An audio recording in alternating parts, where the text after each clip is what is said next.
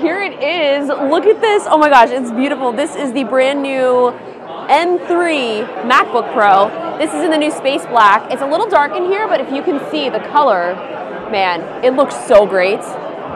Check this out. And here they are next to each other. 14 inch, 16 inch. I mean, this is this is something. These beautiful babies. I'm so excited. I will definitely be getting the 14 inch. The 14 inch MacBook was one of the best decisions I ever made last year, and I will be making that same decision. Beautiful.